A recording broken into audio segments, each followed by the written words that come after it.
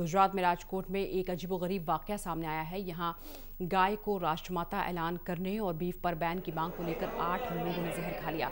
जहर खाने वालों में से एक की मौत हो गई है। तीन की हालत गंभीर है। शहर में जिलाधिकारी ऑफ़िस के सामने गाय सेवा समिति के कार्यकर्ताओं ने अपनी मांग के समर्थन में प्रदर्शन किया था और वहीं पर इन आठों युवकों ने कीटनाशक खा लिया।